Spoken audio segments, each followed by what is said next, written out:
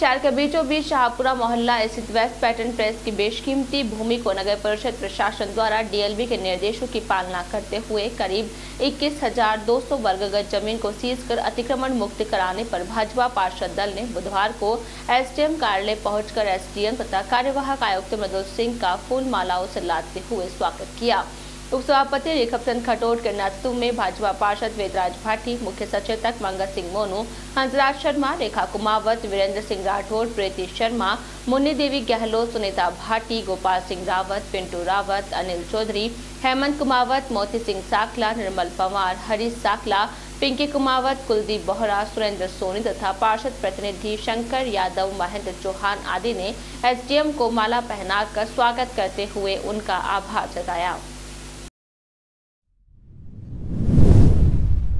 एक बेस कीमती ज़मीन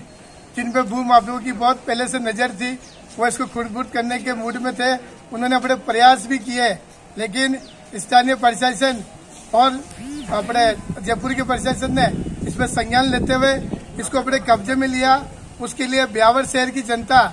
इनका धन्यवाद देने आई है, क्योंकि बेस कीमती ज़मीन नगर परिषद की है और ये सरकारी ज़मीन नगर परिषद के काम में आएगी, क्योंकि ब्यावर जिला बन चुका है। जमीनों की आवश्यकता है। हमारा तो आपके चैनल के माध्यम से यही अपील करते हैं कि और भी जो जमीनें जो सरकारी है, जिनमें लोगों ने अवैध कब्जे कर रखे हैं या उनको अपने कब्जे में लेके उनको भी मुक्त किया जाए।